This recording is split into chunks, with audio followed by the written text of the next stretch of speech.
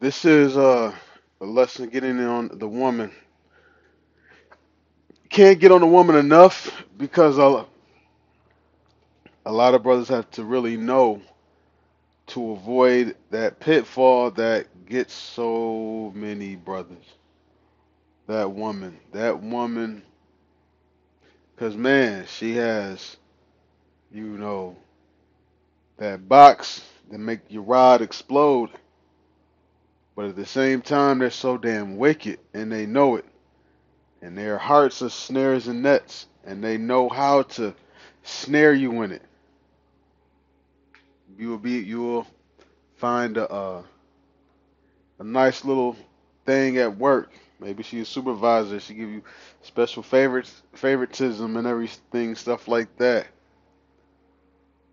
at work. Help you get a promotion or whatever, and then you want to break up with her, and then she's blackmailing you, and then doing stuff at the job that'll incite a reaction out of you that'll actually get you fired. And she knows how to basically, you know, blackmail you and manipulate you. I mean, they're they're they're they're evil. They're they're a, a woman really is uh you know uh a woman is really can be a woman uh, not woman a woman really can be a man's downfall. And if it ain't sometimes it's your downfall it's just something that brings you down pretty pretty far to where it inconveniences you. You know uh samson is a, a mighty man you know the uh, the Philistines are coming. The Philistines are coming. And he he he knew the, the the bitch was the B word was was full of excrement. But what that box? And there, there comes a time where you gotta actually know how to really control your box, your your rod, not your box. And really, you should ideally in a perfect world you would you know have that coming into this truth. You know, but uh, where you put your rod can have major consequences. It can have huge consequences. You put your rod somewhere and you raw dogging a woman who, you know, not on, you know, birth control pills, which I'm not saying that a woman should be on that because they shouldn't, but this is just painting the scenario. You raw dogging a woman who uh, not on birth control, you know, you your pullout game is weak, and you shooting up the club. What do you think gonna happen? A baby's gonna happen. Eventually, I mean, if she's of childbearing ages,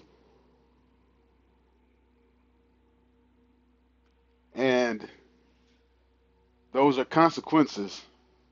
Yeah, you you just brought life in that world. That's beautiful. Yeah, but it comes with consequences. You can be put on child support. You know that, right?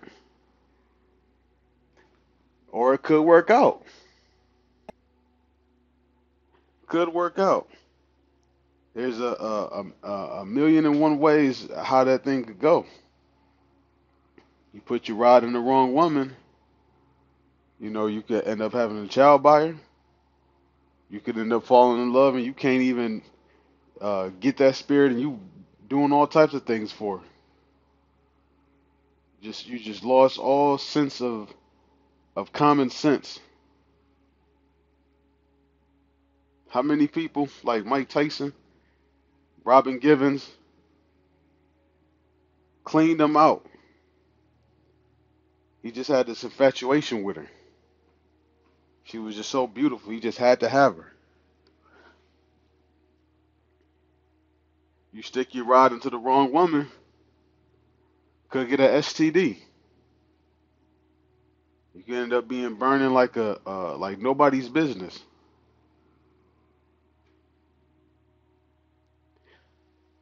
You have a woman, and you end up going and sleeping with another woman, and get your STD and bring it back to her. You gotta really think about the consequences of your actions in general, but definitely because what you do with your rod it can affect you for the rest of this captivity. This is uh, Proverbs 11 and verse 22. As a jewel of gold in a swine's snout, so is a fair woman which is without discretion. Just talks, doesn't have no shame. Just forget how beautiful she is. It's like a, a, a gold ring on a pig. You have this girl named uh, Brittany Renner. She's basically like the superhead of 2023, of the 2020s. You know, talk about who she slept with and all this type of stuff, man. A woman's supposed to be shameless, and and that's a fair woman, a good-looking woman. But because of her attitude, she's ugly as F U H K. You know, scripture talks about staring at every woman's beauty. A woman knows how to, you know, captivate. There's there's women who knows how to, you know, get a man with her looks. Knows how to, you know, uh, make her cleavage, you know, sit up at the right time, right right way. You know, these women are expert manipulators. So you really gotta watch and really you gotta know what you're really getting yourself in. You you lay the rod on a, on, on a woman, she could actually end up being uh, schizo crazy. There's just so much. You really have to look at the consequences of your actions and your your rod letting you. You know, you're supposed to lead your rod. Your rod's not supposed to lead you.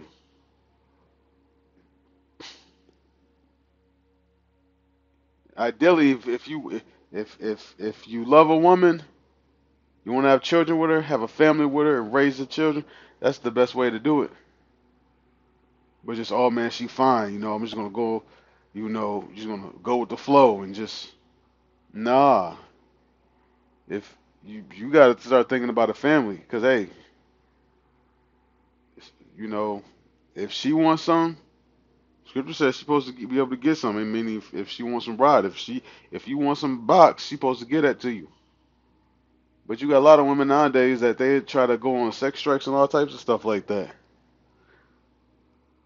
You got feminism that has made the American woman, the Babylonian woman, unbearable. Nobody wants to be around her. You have a lesbian uh, have some of the highest domestic violence because they beating the hell out of each other. Women know the games other women play, and there's two. They'll still be bold enough to try it on another woman. Man, you got to just be careful what what you do with your rod. Just you know, you just can't just be thinking with your with your with your rod all the time. You shouldn't be thinking with it at all.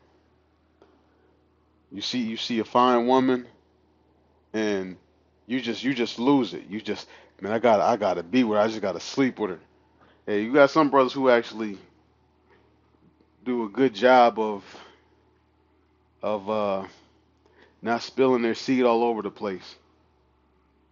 But you got some brothers in Israel who got four or five baby mamas and they and they're they're in a great millstone camp, and they and they've gained more baby mothers while they've been in this truth,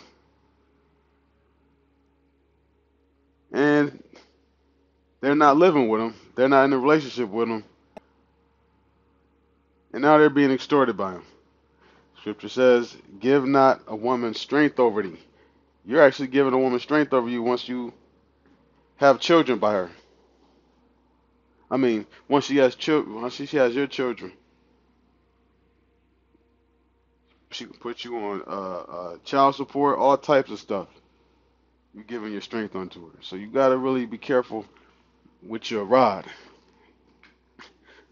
And I know, hope this lesson has been edifying. I want to give all praise and glory unto Yahweh, by Shem Yahweh Shai, by Shem Kakwadash Barakatah. Double honors to elders of GMS Ruel. Peace, salutations, and shalom.